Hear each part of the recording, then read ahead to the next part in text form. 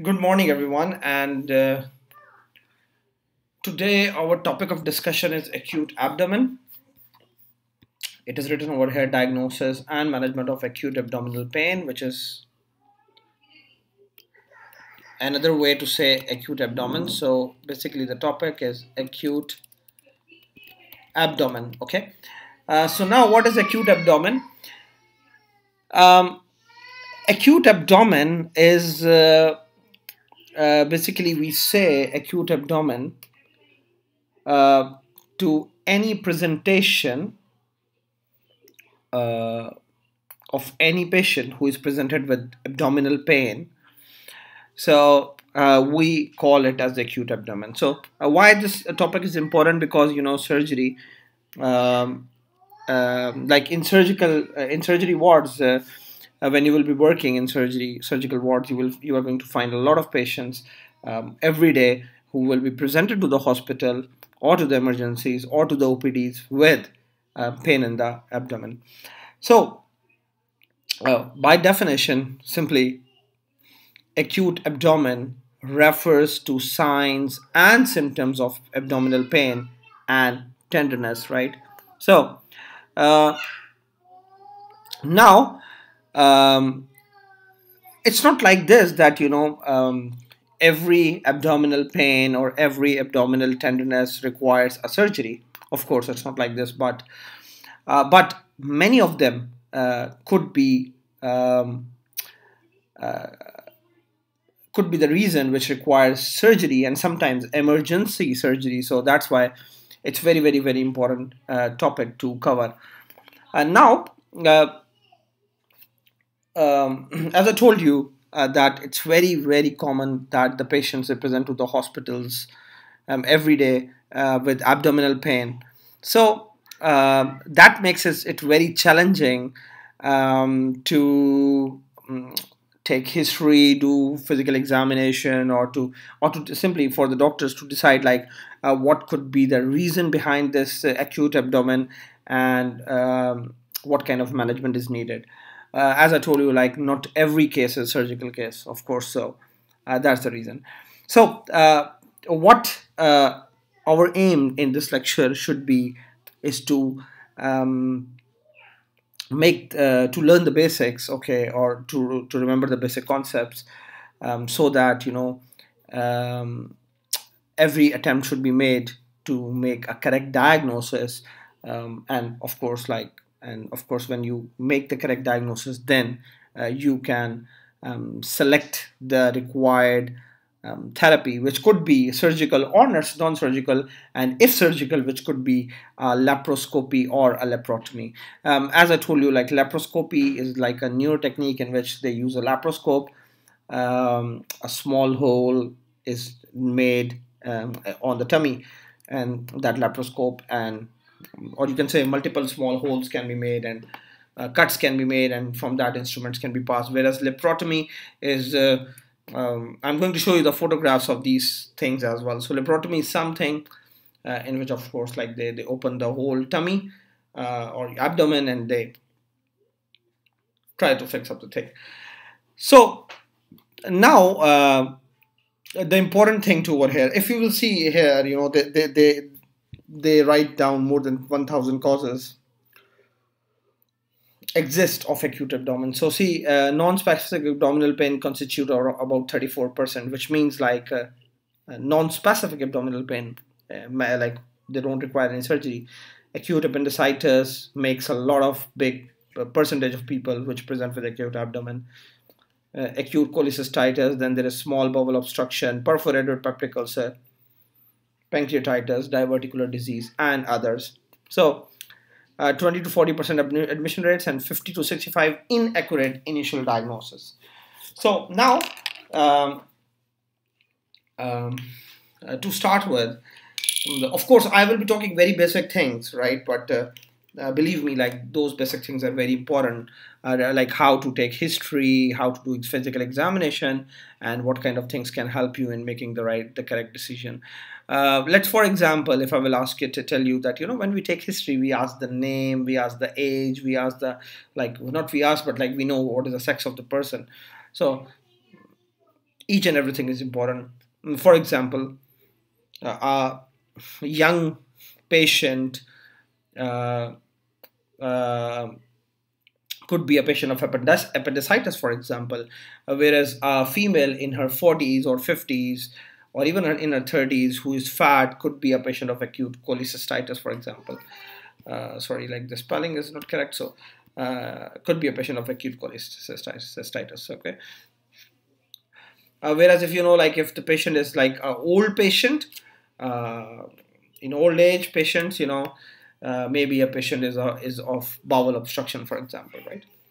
So things like this, and uh, of course, like I'm talking about the surgical causes, but whereas there are many non-surgical causes as well.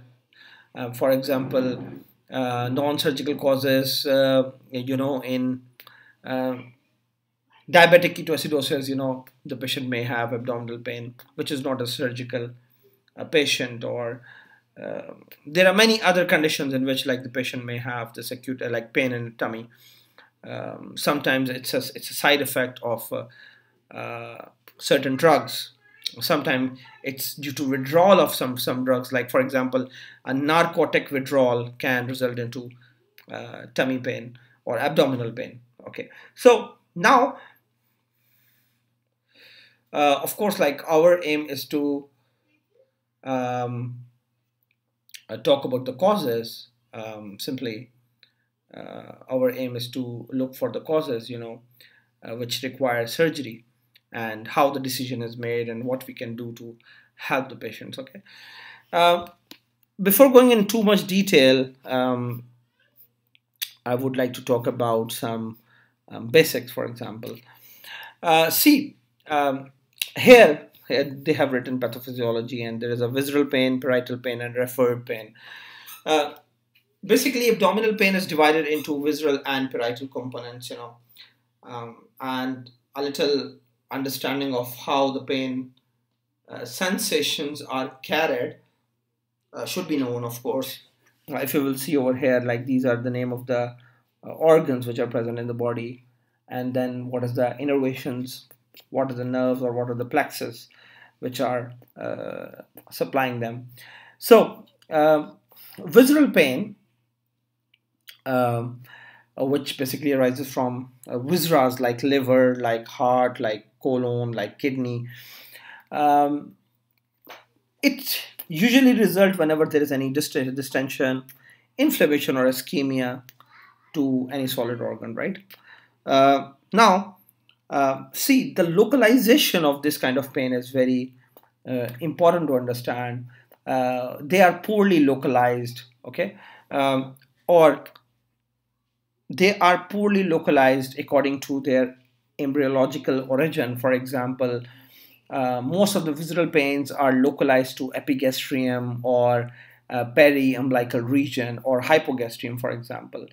Uh, because you know because they originate from foregut, midgut, or hindgut. So depending on what, uh, like the one which uh, originate from foregut, their pain will uh, what you can say is going to localize to epigastric area, midgut umbilicus and hindgut to hypogastric areas and before like uh, let me tell you one thing that you know uh, we can um, you can say uh, divide abdomen into nine quadrants, which is too basic, by the way.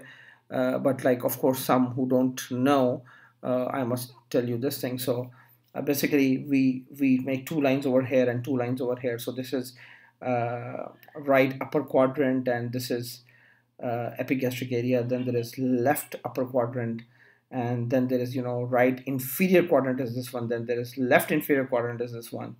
Uh, so like this one you know uh, the tummy can be divided into nine sections. Okay?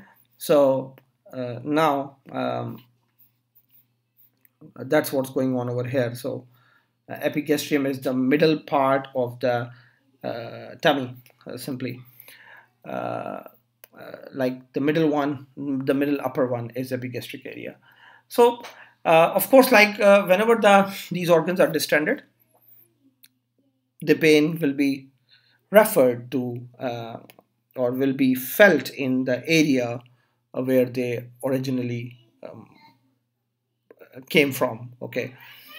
Uh, now there is something called as referred pain. So referred pain uh, is basically a pain which is uh, which is perceived or which is felt at a different site, which is basically away from the locality, from the location of the uh, thing which is affected. Uh, for example, um, um, okay, let's take an example of what we were discussing. Um, cholecystitis, like there is a referred pain to the tip of the shoulder, right? For example, um, and uh, um, there are many other examples. You know, sometimes the pain around the hip uh, is referred in the knee. Okay, uh, and then there is a parietal pain, um, simply that is carried by dermatomes, and that is of course felt at the area which is basically um, affected.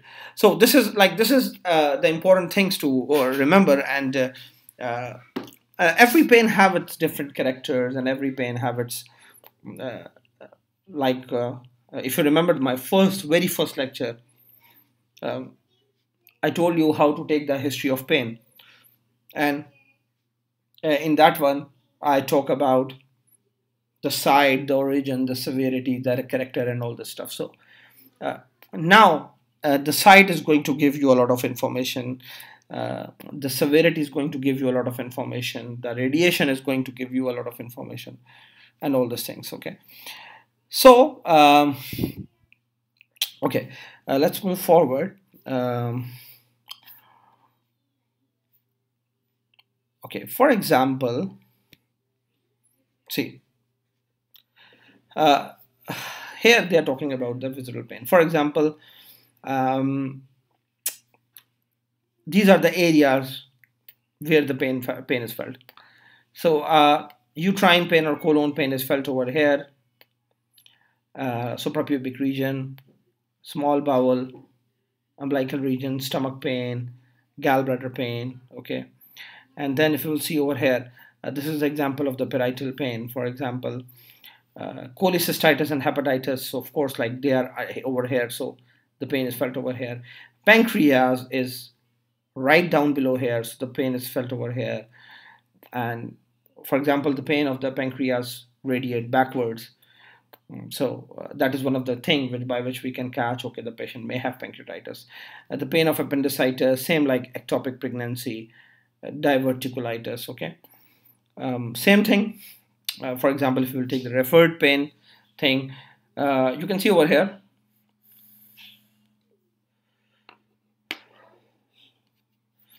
The esophagus pain the stomach pain the liver and gallbladder pain pylorus colon pain left and right kidney and uret ureteric pain and same thing with the back of the patient uh, diaphragmatic pain biliary colic, acute pancreatitis, and renal colic, as well as uterine and rectal pain.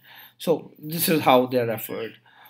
Uh, so this is one of the thing. Now, if you will see over here, uh, again, okay. Uh, before going on this, I think like it's better to tell you some of the causes so that the things will become easy for you.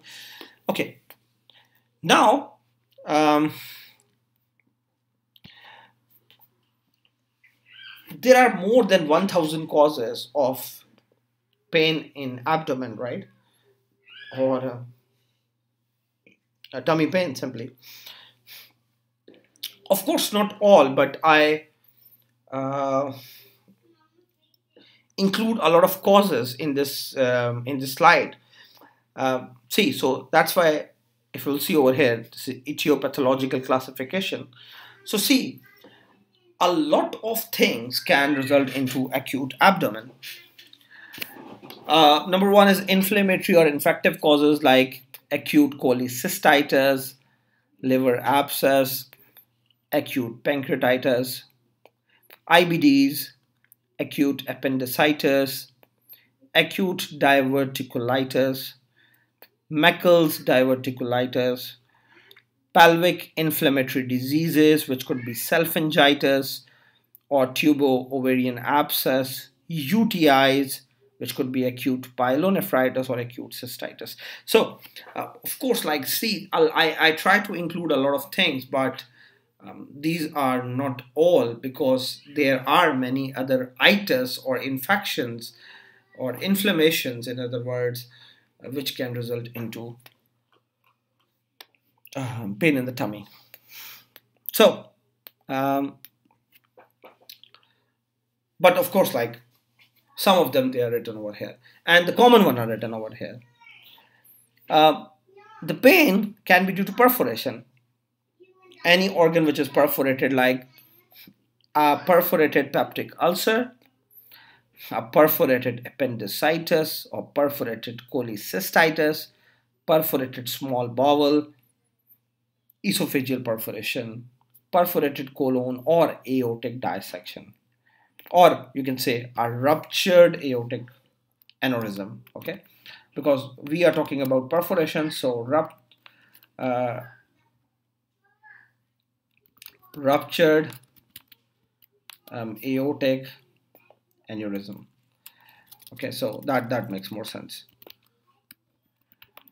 So, so uh, okay, these are all the causes. What you can say uh, in which the patient may have the pain. Okay, due to perforation. If you will see over here, obstruction of intestines or GIT, like which could be a small bowel obstruction, which could be a large bowel obstruction, which could be a biliary colic, like our previous lecture was about this, right? So, as I told you, what is biliary colic? For example, if there is a stone which is impacted in the cystic duct or in the common bile duct, it can result into pain. So that is called as biliary colic. And the same thing, for example, if the stone of the kidney is going to stuck somewhere in the ureters so the same thing will happen it will result into renal colic and when we are going to ask the patient about history about how the pain where the pain is um, uh, what is the intensity what is the severity what is the radiation what is the timing what is the character of the pain. Uh, the things will become easy. Uh, the things will become clear. And uh, uh, we by by taking history and physical examination uh, we can reach to the point where like what kind of condition maybe the patient is suffering from. Um, if you will see over here uh, infections uh, which can lead to pain in the abdomen can be any kind of thromboembolic diseases like acute intestinal ischemia renal infarctions, splenic infarctions, um, gastrointestinal volvulus, omental torsion, um, intussusception, um, torsion of ovary or subserous fluid. So, so fibroid. So see, uh, now everything makes sense.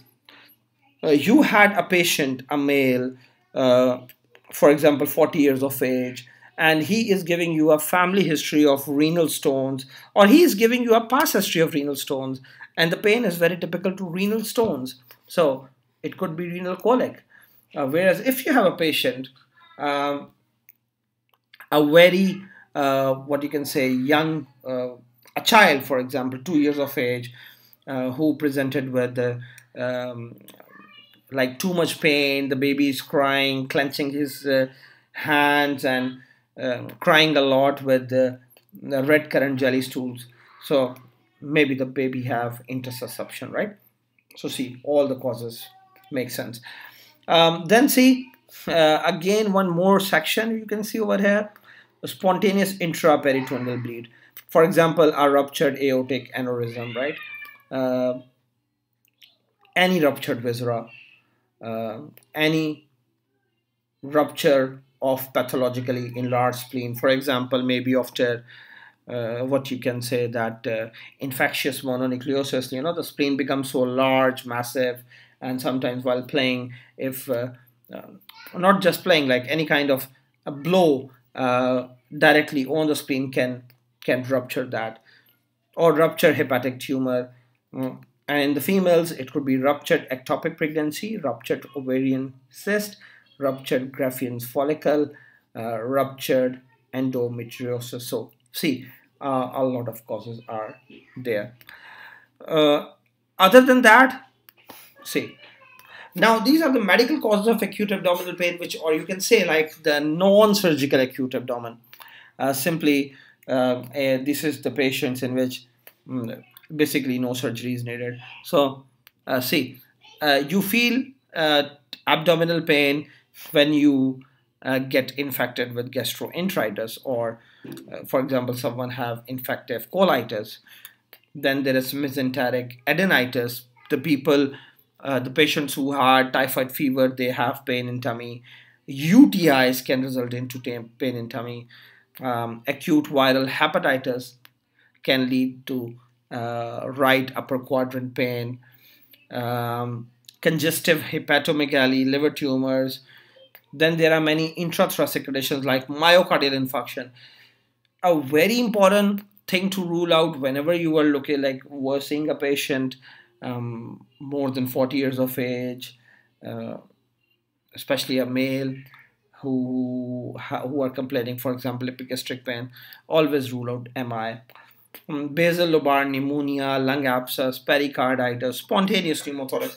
So see, uh, these are um, comparatively you can say non-surgical cases okay um, like which will lead to uh, what you can say acute abdomen uh, then again there are many other conditions which can lead to um, pain in abdomen but again not surgical causes uh, diabetic ketoacidosis uremia adrenocortical insufficiency hypercalcemia acute intermittent porphyria uh, heavy metals poisoning, hemolytic crisis of chronic hemolytic anemia, polycythemia, Henoch-Schönlein purpura, lymphoma, leukemia. So see, uh, now this is like the first slide, this is the second slide, and this is the third slide.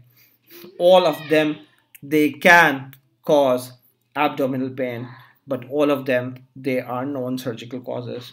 Uh, so uh, even if you will see the neural the non-surgical causes are uh, grouped according to metabolic hematological and neurological and collagen vascular diseases like herpes zoster spinal cord compression degenerative disc prolapse metastasis nerve entrapments um, systemic lupus erythematosus polyarteritis nodosa and abdominal pain caused by thrombosis of visceral arteries leading to visceral infarction. Uh, so, uh, no need to remember, guys, and see uh, with time, with knowledge, the things become clear. Uh, we remember a lot of these things, and we just remember the important things. For example, uh, if I am um, having a patient who is complaining of pain in abdomen, and she's a female, uh, she's a sexually active female, I am never going to miss ectopic pregnancy. I am never going to miss uh, ectopic pregnancy. This is very, very, very important. Okay.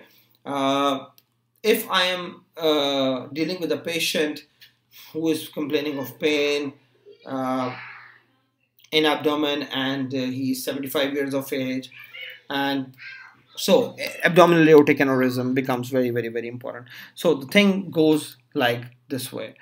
So you can see over here and now see these are the things we give which give generalized acute pain. Okay? And these are the pains things which give central abdominal pain appendicitis uh, small bowel obstruction gastritis pancreatitis ruptured aortic aneurysm uh, mesenteric thrombosis now these are the things which most of the time typically gives epigastric pain. Um, duodenal ulcer or gastric ulcer, esophagitis, acute pancreatitis, or AAA, aortic aneurysm. Uh, these are the things which give right upper quadrant pain, gallbladder diseases, duodenal ulcer, acute pancreatitis, pneumonia, subphrenic abscess, and hepatitis as well. Left upper quadrant pain again um, gastric ulcer pneumonia acute pancreatitis spontaneous splenic rupture acute perinephritis and subphrenic abscess.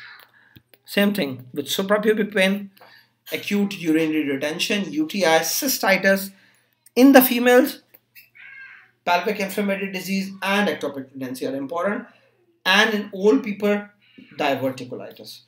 A diverticulitis mostly give this one, left quadrant pain. So RIF or right inferior quadrant, see a lot of things are there.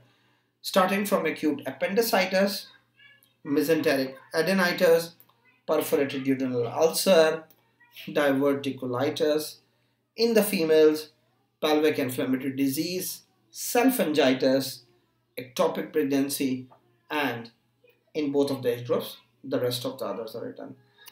Same thing, loin pain. So loin pain is like uh, mostly these are the renal causes or some sort of muscle muscle strain which can give this kind of pain. And left inferior quadrant pain, if you will see diverticulitis, constipation, IBS, pelvic inflammatory disease, rectal carcinoma, ulcerative colitis, or, or ectopic pregnancy. So, see, uh, if you understand these things, uh, I was just giving until now the basic orientation, and I'm, I'm telling you, this lecture is about knowing the basics, okay, and how to approach, uh, how to deal with these basics. Okay, see guys, so whenever we had any patient, uh, of course, the first thing we will go and we are going to take the take the history.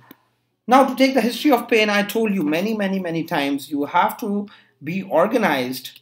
You have to be very careful while taking history. Don't miss any important point whatever mnemonic you are using or if you are not using any mnemonic but always inquire about the site the origin the radiation the character of the pain the severity of the pain the timing of the pain. Uh, this is the onset how long it is there okay? The timing of the pain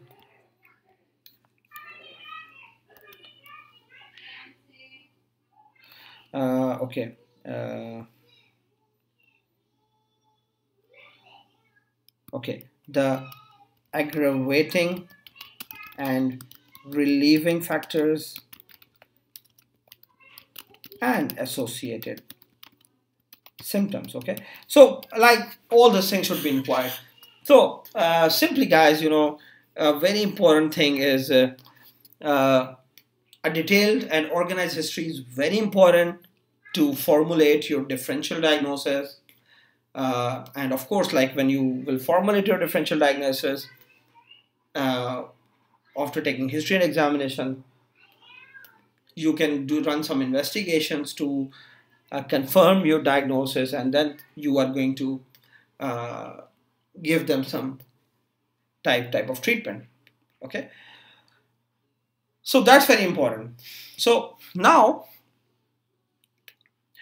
uh, once you have asked all the pain questions, okay, uh, you will uh, you have to look all these things you know you have to keep in account or uh, keep in mind all the different um, dimensions or you can say aspects of the pain as well as the associated symptoms to formulate some sort of differential diagnosis. Uh, for example uh, um, and with time you are going to learn a lot of clinical skills like uh, how to uh, take history how to do examination um, how to get that correct information. Uh, you can see like one thing is in front of you. Like anyone who is describing his pain colicky in nature like the pain goes comes and goes so uh, it could be bowel obstruction it could be ibs right or it could be biliary colic and things like this. So uh, one thing is this one. Um, so uh, one thing, for example, if you're asking patient, you know, where is the pain? If the patient is putting all over hand on the place, so it means it is some sort of generalized pain. For example, if the patient is pointing at one side, so of course, like it means the pain, pain is localized. Okay, uh, things are like this. uh, again now see uh, nagging nagging and grumbling pain is like in this case is stabbing pain in case of uh, aortic aneurysm again stabbing pain in case of pancreatitis burning or boring pain in case of um, esophagitis uh, peptic ulcer disease or pancreatitis also pancreatitis okay so of course I cannot include each and everything over here, okay? Uh, whatever I remember, but once you will, for example, when you will study appendicitis, you would remember the nature of that pain. If when you will study pancreatitis, you will remember the nature of that pain. Uh, same thing we study uh, biliary colic, we remember the nature of that pain. So uh, you have to, with time, you have to memorize the things and um, then uh, the things will become uh, clear to you. Okay? So now uh, this is an gnawing type of pain and then see they see we look like either there is any fever. What are the associated symptoms right? So not just like the the nature of the pain but the severity of the pain is very important for example uh, uh, people who have pancreatitis they have very severe type of pain uh, people who have, uh, for example, a renal stone have a very, very severe type of pain. Uh, people who have appendicitis, for example, they have comparatively uh, less um, severity of the pain. Um, so many things are there, right? So um, one thing is also progression. You can check the progression of the pain. Either the pain is increasing, decreasing, or it's the same. So like this way. So we have to, uh, like what I mean to say over here is that uh, you have to analyze, okay? Uh, you have to analyze uh, how what is the character of the pain, what is the nature of the pain, what is the locality of the pain, what is the radiation of the pain.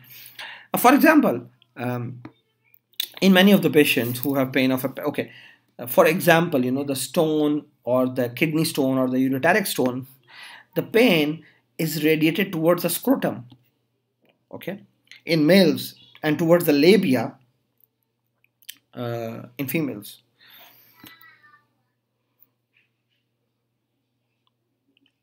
for example the pain of uh, appendicitis uh, sometimes it starts in the center of the abdomen but then they started feeling the pain on the right side of the of the abdomen for example, the pain of pancreatitis, it's it radiate backwards. It's a boring type of pain.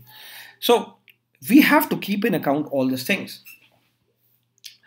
So uh, as I told you, that small bowel pain is felt around the umbilical region, and uh, same thing with other pain. So like you will you will uh, inquire about all those things. A very important question is to ask about the aggravating and relieving factors. For example, uh, peptic ulcer disease, eating exaggerate the pain. Fatty meal exaggerate the meal, the pain. Fatty patient, 40s, female, spicy food or fatty food brings the pain. Okay, for example, someone, uh, some of the people, depending on the site of their ulcer, food can relieve their pain of the gastric ulcer as well. And many things like this, you know, some of the pains, the patient know that, okay, in this position, the pain is less. So that's a relieving factor, okay? And in the associated symptoms, uh, here just four are written, but there are many associated symptoms. It could be nausea, vomiting, constipation, diarrhea, uh, change in the stool color, blood and urine, for example, hematuria. All these are um, uh, associated symptoms. For example, see a patient with loin pain, uh, very or a colicky type of pain, and the pain is radiated towards scrotum and uh, um, for example yeah he said like you know uh, after pain uh, or with pain, he is having some somewhat uh, reddish type of urine. Okay, or it seems like the, the urine color has changed. So now uh, you see this is taking my mind towards something called as ureteric stone. Things thing works like this way. Okay, so not just this, but uh, someone who haven't passed any stool for uh, few, many hours or day or for or for a day, and he have central pain and he's old age, he have previous history of laparotomy, or he have weight loss. So it sounds more like intestinal obstruction, right? So things goes like this way. Uh, now, for example, if uh, a patient is coming with abdominal pain, uh, generalized abdominal pain, on history you found that you know uh, he have nausea, vomiting, and he eat something from outside, and he have diarrhea, he have vomiting, he have fever. So now it sounds more like a gastroenteritis, right? Which is a non-surgical type of uh, case. Uh, then, of course, we ask the past history okay um, we we ask uh, about the past history uh, what you can say the past surgical and medical history both we ask the family history in females a very important thing to ask is to ask about the gynecological history okay that is very important. Uh, ask about previous surgeries which are done. Ask about any previous investigations. Ask about drug history. Ask about allergy history okay? And in very few cases ask about social history. So everything makes sense. Medications are important. Some of the medication side effect is basically abdominal pain. Uh, i told you when someone is giving up uh, drugs for example narcotics they may have abdominal pain okay so uh, why uh, anything can occur okay for example uh, um, for example, uh, someone who is using, for example, NSAIDs for a long period of time. So NSAIDs can lead to um, the development of gastric ulcer. So anything can be helpful. So that's why we should ask history in detail and in females never ever forget to ask about the gynecological history okay? Uh, why? Because a sexually um, active female may have uh, what you can say um, uh, ectopic pregnancy right? Or middle tumors anything. So once you have done the history then we go for the physical examination now in physical examination uh, now, see, guys, I, am not going to talk about the physical examination in too much detail, but if you know how to examine the patient, uh, you know, first of all, uh, um, vitals are very important. Vitals, okay? Vitals are very important, okay? Take the vitals, do the GPE, uh, do the, the focus examination. Of course, in emergency, um, okay, many of the cases, of course, we, can, we cannot do the examination. Uh, for example, a patient who have pancreatitis, you know, they are in so much pain that they don't even allow you to touch their tummies. Okay, and nowadays, by the way, uh, sometimes you know we sometimes not always we don't go for examination at all. Rather we go directly for investigations. And of course like you know history in emergencies is quite quick okay? So of course like nowadays you can do ultrasonography you can send the patient for ct scan you can send the patient for mri but again that doesn't mean like physical examination is not used physical examination helps the clinicians the surgeons to narrow down their differential diagnosis so uh, again vitals should be the first thing uh, then do the gpe general physical examination look for any sign of jaundice, anything, depending on what is the presentation of the patient. We are discussing right now a lot of conditions, so I cannot be focused on one thing. So, do the GPE, check for pallor, check for cyanosis, um, check for how the journal generally the patient uh, looks like. For example a patient who is in too much pain who cannot sit even who is moving his sides uh, point towards something uh, very could be very serious like ischemic bowel disease okay things like this. So uh, and then of course like we are discussing abdomen so uh, we will be looking for at the abdomen and uh, we will first of all we will do the inspection of the abdomen. We check the uh, shape of the abdomen. Is distended or it's flat it's scaphoid uh, any obvious mass any obvious movement uh, any hernial orifices which we can found okay? Uh, so all these things okay? Any any skin signs we can found on the patient so all these things can be checked in the patient. So uh, after that uh, once we have done this thing we go for palpation okay? And now uh, palpation you know may, maybe like many of you will say or there could be a question like auscultation should come before palpation. And my answer to this thing is simple. Uh, being a medical student, you know, uh, learn the basics, okay? Uh, of course, uh, in reality, or the consultants, of course, uh, maybe they will not palpate, rather they will auscultate. Why? Because now it depends on the patient. For example, if you are suspecting that the patient have intestinal obstruction, for example, then of course auscultation can provide you very useful information about the bowel sound okay uh, what is the quality of the uh, bowel sound, what is the quantity of the bowel sound.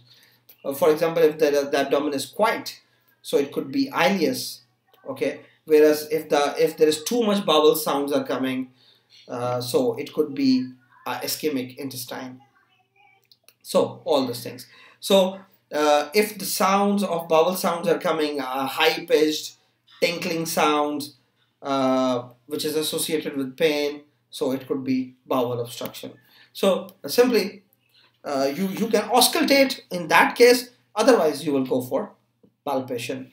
Okay, so uh, of course like we will auscultate uh, and we can do palpation, uh, check for tenderness, rebound tenderness, guarding and rigidity. Okay, uh, very very very important things. Um, I don't know now how much you know about uh, uh, know about what is guarding, what is rigidity. But let me explain you these things in a few lines. Uh, percussion or uh, palpation is very important. Okay. Uh, palpation uh, is very important in um, you can say diagnosing or in uh, knowing if the patient have peritonitis or not or just to check the tenderness where exactly it is.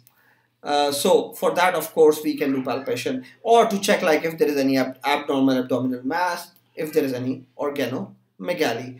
Uh, and remember, like whenever we palpate, first of all, we do a light palpation or superficial palpation. Then we go for the deep palpation.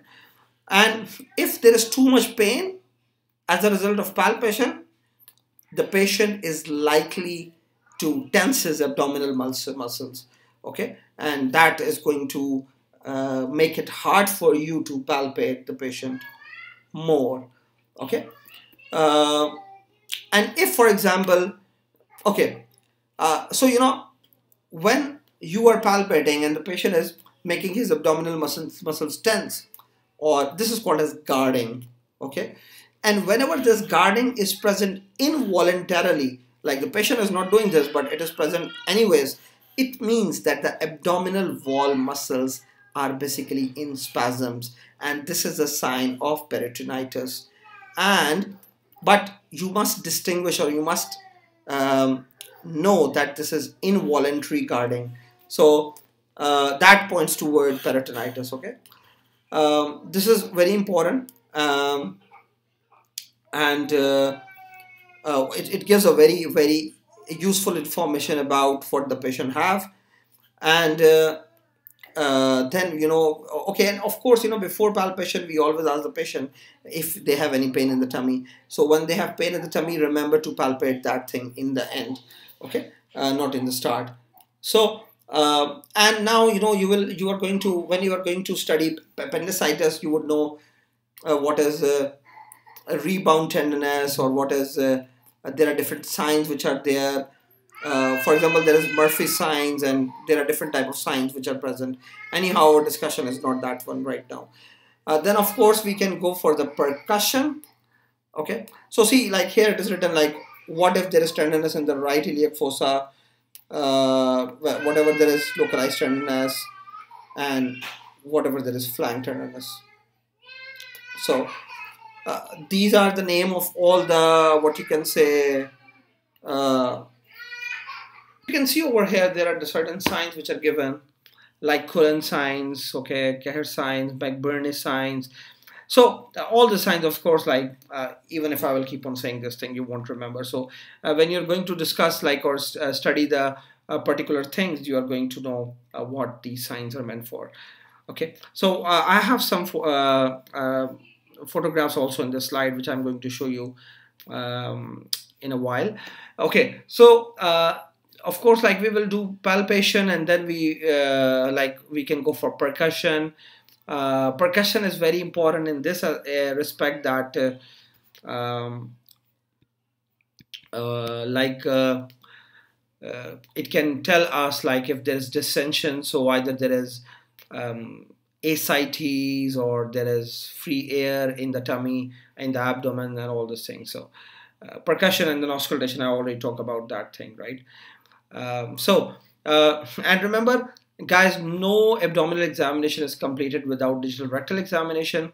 Um, and it should be performed in all the patients with acute abdominal pain, uh, which can guide you towards if there is any blood on the finger or intraluminal blood. And uh, in the females, always examine their pelvic organs, um, always uh, check the adnexal tenderness as well. So, these are the examination points. So uh, uh, once the examination is done uh, like in the females of course like do that PV examination. PV examination is per vaginal examination and PR is basically per rectal examination. Basically this is called as DRE which is digital rectal examination. So you can write over here DRE which is basically digital rectal um, examination okay? So uh, no examination is covered without that okay? Now um, uh, once you know uh, we are done with history and physical examination of course uh, then is the thing we are going to decide um, what the patient needs next. If you can see over here, three things are written.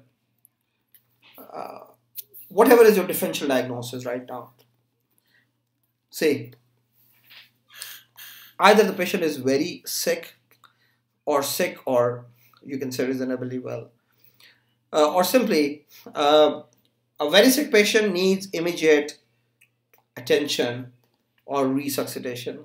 A sick patient or ill patient who can stay there for a couple of hours needs some urgent investigations and management, whereas a reasonably well patient can wait or in that patient uh, we can or we have enough time to go through the lab investigations or radiological investigations and to formulate the correct diagnosis and then going to manage.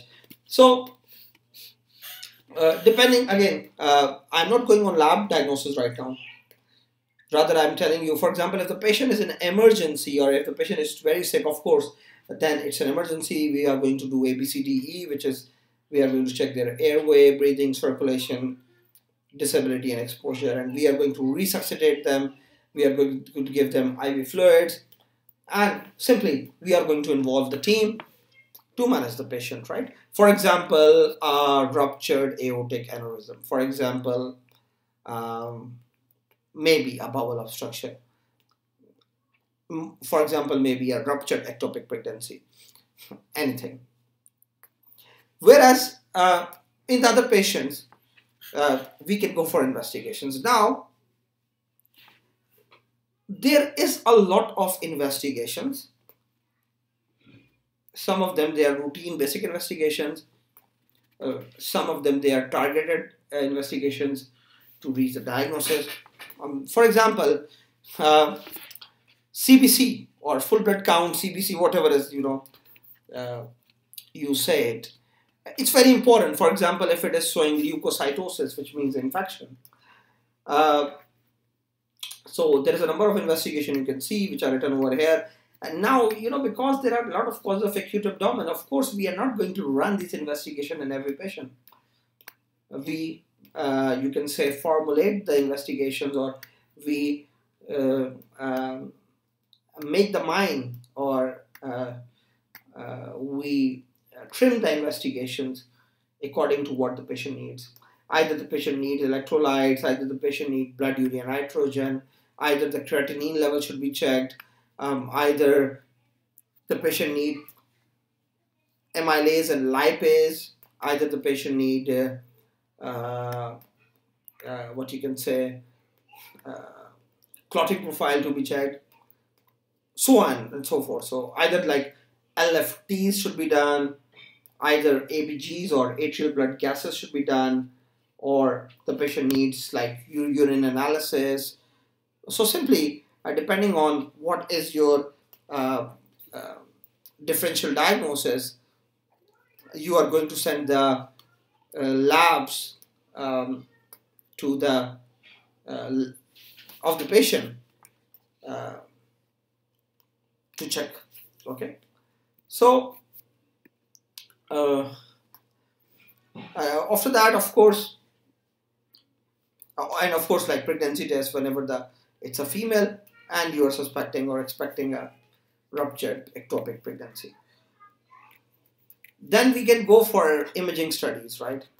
So, uh, in imaging studies, you know, a very important thing is X-ray, and nowadays, of course, CT scan. It's quick. It gives a lot of valuable information. Um, of course nowadays uh, we have fast scanner also. Um, we have portable CT scans as well uh, available in the hospitals. Uh, so uh, again it depends on the patient. Uh, we can decide either the CT scan would give us too much information either chest x-ray or abdominal x-ray is going to give uh, a lot of information okay? Either an erect x-ray should be done either a supine x-ray should be done either a lateral decubitus uh, x-ray should be done. So all these things can be planned accordingly. So uh, in simple words we are going to send the patient for the investigation. Um, ultrasonographies are available nowadays okay? Uh, ultrasonography like as we were discussing before in the previous lecture is very very uh, valuable in uh, for example you know in detecting gallstones right? Uh, and uh, they are also very valuable in other cases as well okay?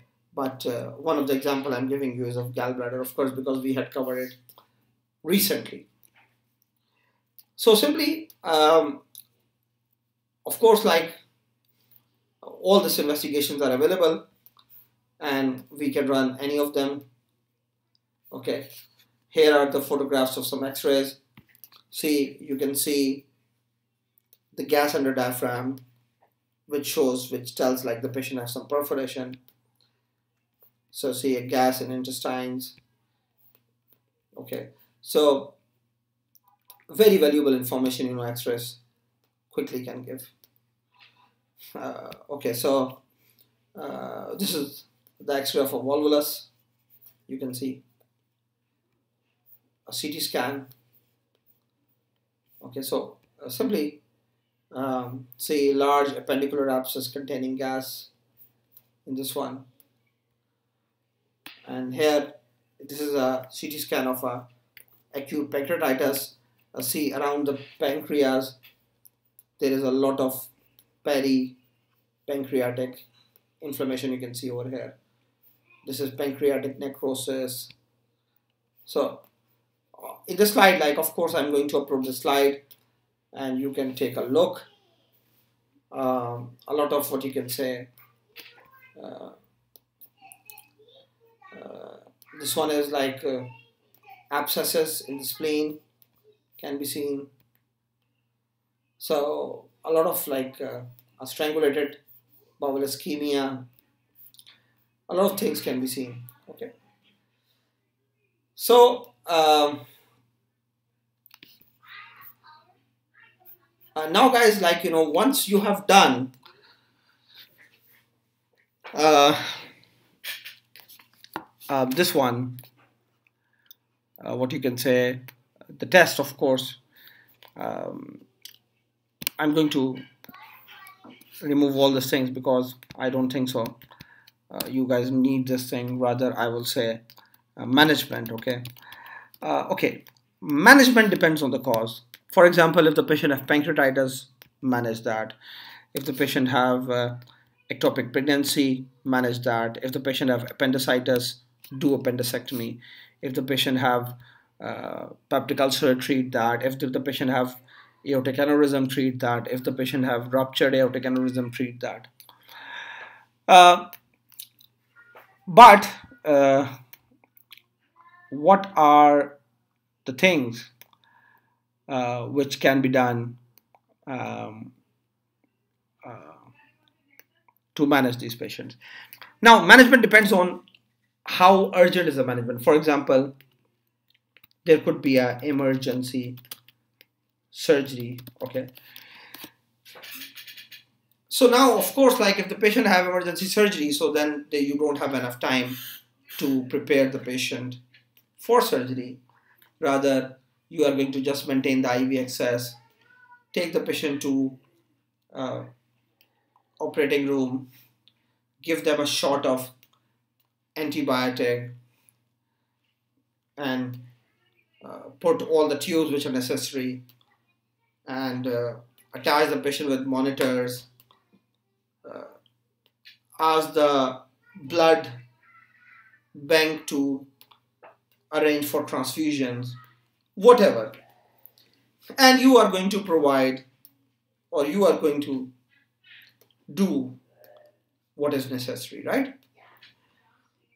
On the other hand if the patient have uh, for example uh,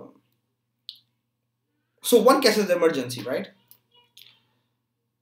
Directly to um, emergency room in other cases, for example, the the surgery is not so quick or quickly needed, then of course you are going to